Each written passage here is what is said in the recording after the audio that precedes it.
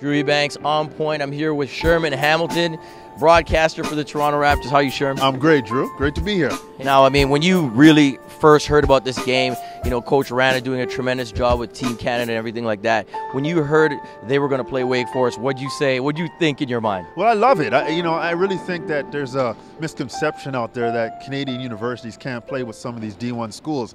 It's not that far away, and I think that's important. We need to get more appreciation for the basketball in this country so that we don't have problems when kids go to the States. We understand why they do it, but if you stay here, there's an opportunity to play quality basketball. So I think this event has been great. Roy has done a great job building this program, and you know the fact that they're getting this kind of pl place to play in, I think it just tells you that where this program can go in the future as long as it continues to build. And you know Roy's a grinder; he's going to go after it.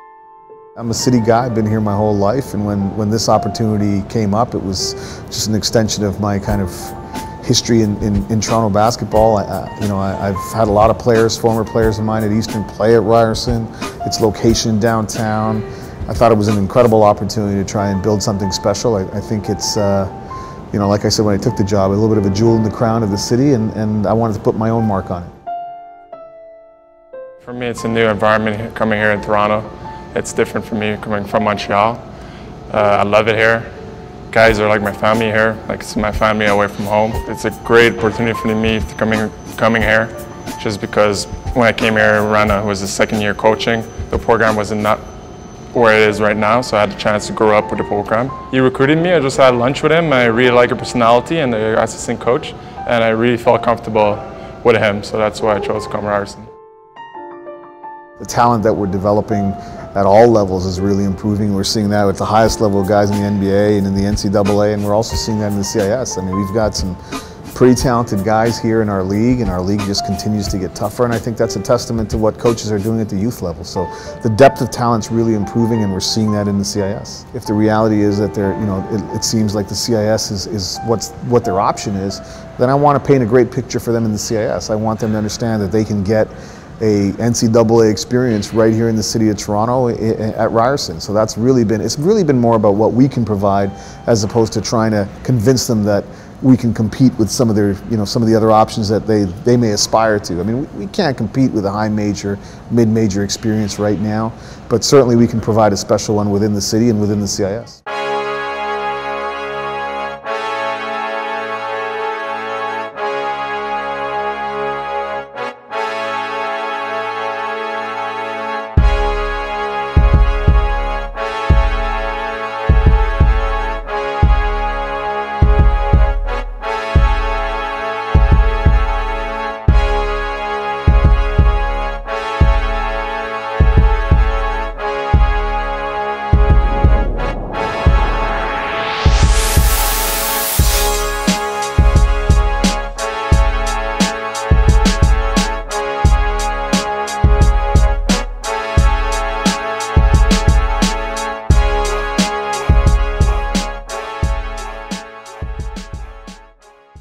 I mean, it's certainly got to be a confidence builder when you know you can step on the floor against an ACT, ACC team and compete, both individually for players, but also for us as a team. And, then, and then at times, you know, you're going to take a, a, little bit of a beating in some places, and it just reminds you the reality of, of how hard we have to work and, and how much more we have to grow. It's been part of my vision. It's been part of, you know, what I want to be able to give our student athletes, that type of experience. You know, we've had Baylor here. We've had Tulsa here, now we've had Wake Forest here, we've been on the road at Stanford, we've been on the road at Detroit, Santa Clara, So we're going to continue to play those games. I mean, that's going to be a big, big piece of our build in this program and, and what we want to do for the basketball community in Toronto.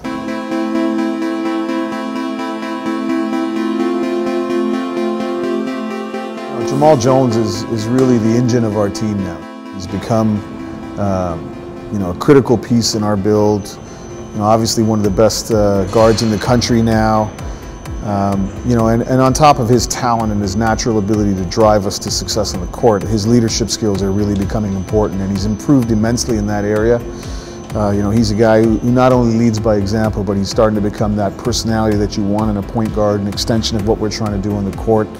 Uh, I'm, I'm really, really pleased with how he's developed as a person, as a basketball player, and as a student. He's now, you know, a, a, a, a uh, you know, his, his GPA's gone just skyrocketed over his first three years here. So he, he's doing all the right things. Aaron's always been kind of that athlete. Everybody thought of Aaron as an athlete. And, you know, he's just come in and put in so much work. Aaron Best is one of the hardest working guys I've ever been around. And he's working on his game. He's improved his shot. He's improved his feel, his handle. You know, he, he's still a young player. He's still got a long way to grow, but he, he's, he's doing all the right things in approaching it. And uh, he himself is starting to take on more of a leadership role. You know, and obviously his, he's starting to mature, and his personality and the way he interacts with his teammates is getting better. Just two really positive guys, uh, great role models for our program, and see nothing but great things for them in the future.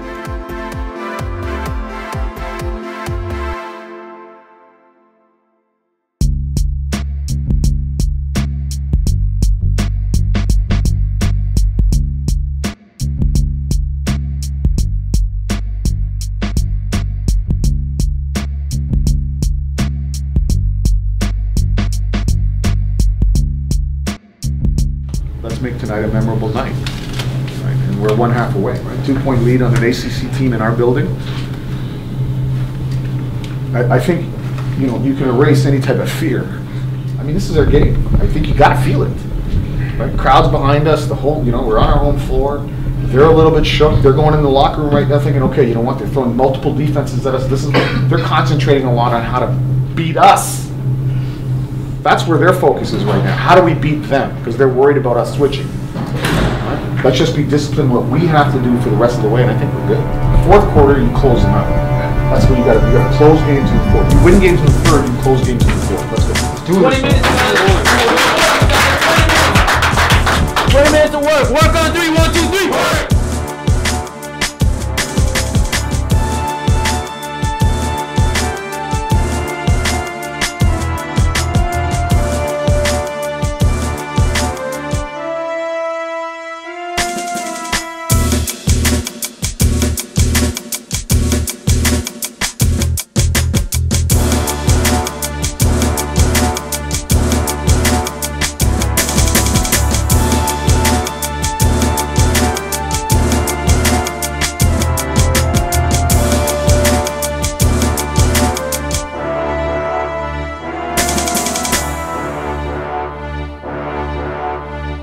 Banks with On Point. I'm here with Jahmal Jones. How are you, Jahmal?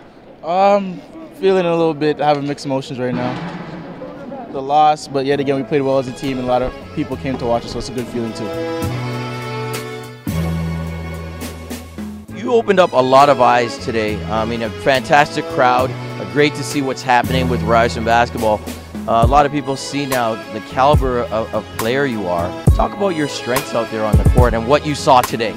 I guess in my position as a point guard, I really think of it as a position to express yourself. So since I like to attack mentality and I'm very quick, I just use that to my advantage. And I guess my playmaking is getting a lot better because my teammates feed off it, especially someone like Aaron that just is just like me in the transition. Give us a breakdown. Tremendous event uh, tonight. Uh, the hard work you've put into it, the hard work the school has put into it, you must be very proud. Yeah, you know what? I, I, I've been telling everybody it's it's really been uh, about giving back, and uh, I thought we did some special things for the city and for the CIS, and you know the high school game. We had the, the, the Mega Hoops clinic, we had the coaches clinic, so you know we had an opportunity to kind of serve a lot of our communities and then give them a, a good product on the floor to end the night. I know you wanted the victory, of course. Uh, defeat, we never uh, agree with that when we're playing basketball or playing any sport. But what lessons do you think the team learned? Well, you know, I, I, said down the stretch we got a lot of great opportunities to execute under pressure, make some adjustments to try to come back, defensive tweaks, and you know they went on a run. We never folded. So for us, really, it's it's all about preparation for our season, and we're getting really quality games and quality situations to get better in. Stay, stay, darling. You make me oh so high. Stay, darling.